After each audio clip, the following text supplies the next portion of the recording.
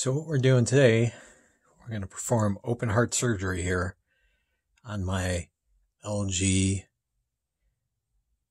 Urbane watch, smartwatch.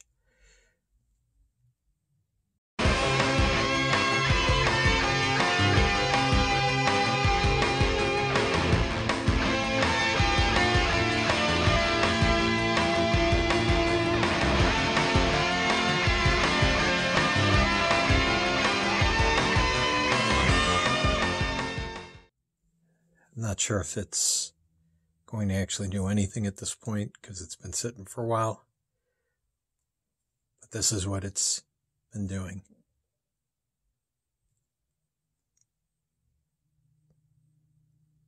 Powers onto the LG logo. And it just shuts off. So apparently the fix is possibly placing the battery. So I got a battery and a bunch of tools which may or may not help. So let's go ahead and dig into it and see what we got. I'm going to take the band off here because there's a little tab right at the bottom here to pop the back cover off of it.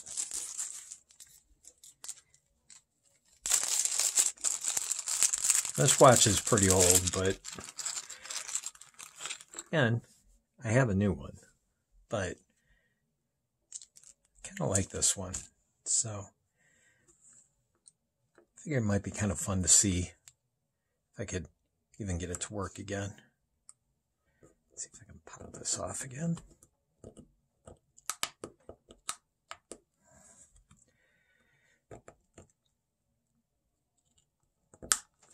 There is a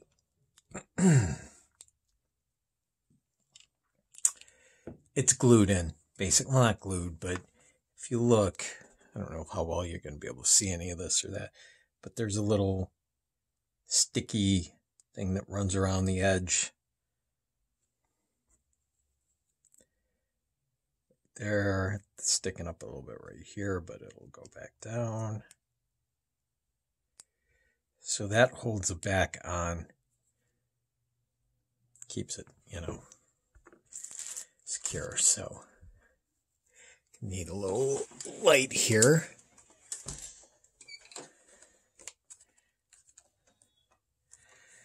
So I can see what I'm doing.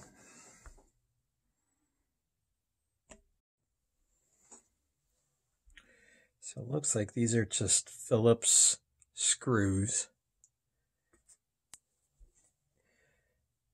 Looks like there's one, two, three, four.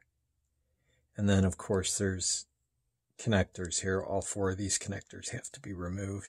I don't, this screw may not have to be removed either. But let's get the connectors popped off first.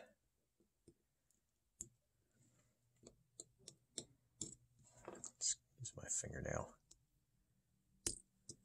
One, two, three, four. And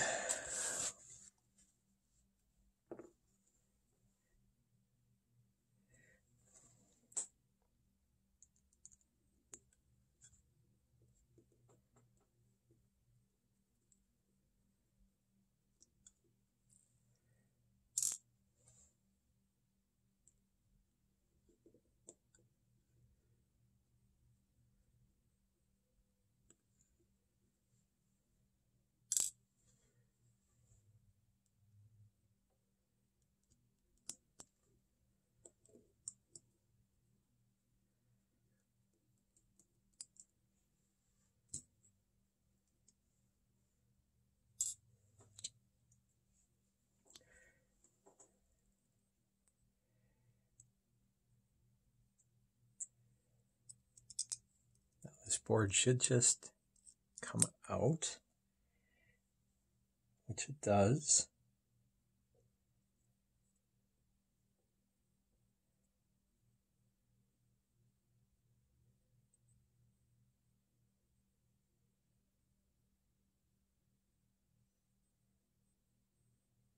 Oh, it's a rumble motor. There's a rumble motor right there. Who knew?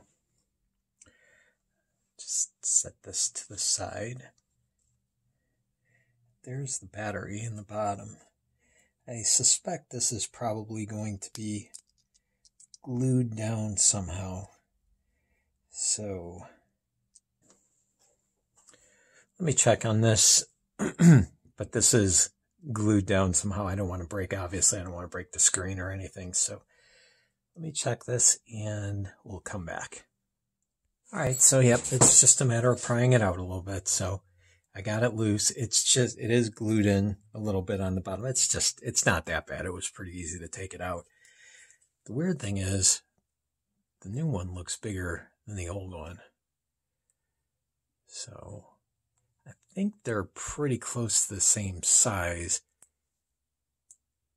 But they got the same number and everything, so I don't know. We'll see if we can get this one in here. I know it's going to be a tight fit, but yeah, it'll go. There we are. It's in. Now we need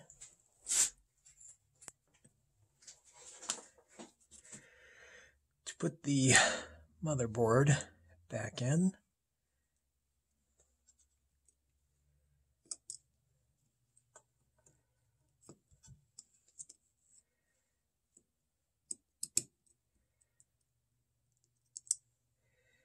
And screw that back in. Find the right driver here.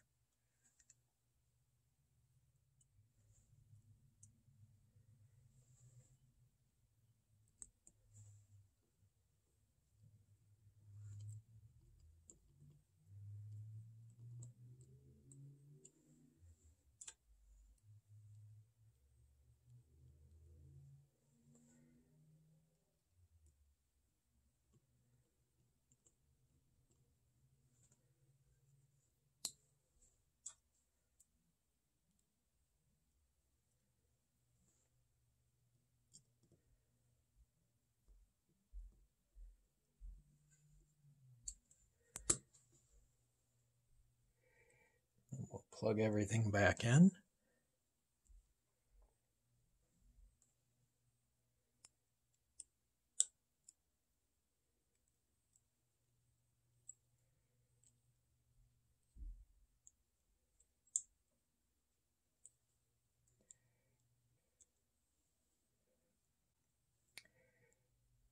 Sorry if I'm not getting this in the camera view.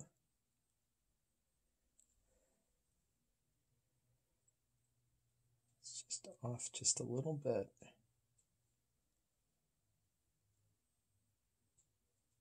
we go.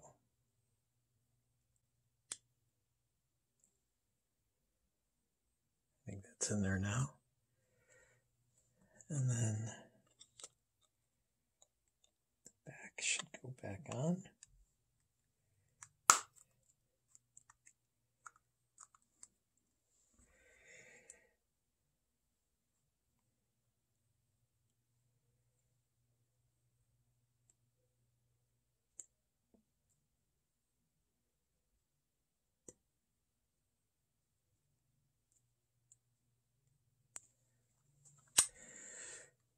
And moment of truth. If the battery has any charge on it.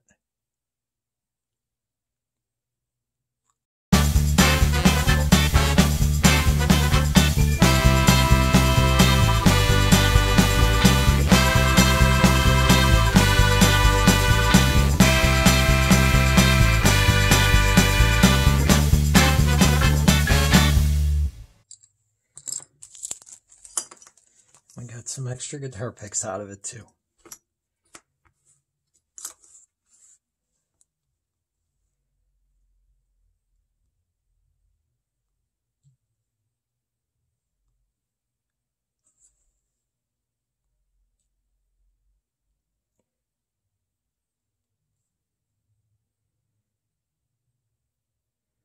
All right, it's at 37%, so I'll have to get it on charge.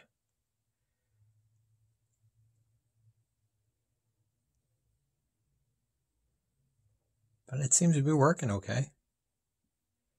other than it's not connected to anything, so it doesn't know the time or the date. Well, hmm.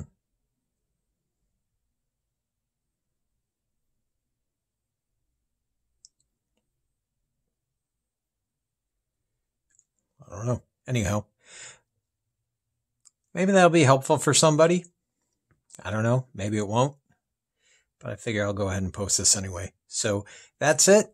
Um, so if you found this useful, go ahead and click that like button. If not, you know, you just dislike or ignore it. Whatever. And uh, we'll see you on the next one. Thanks for watching.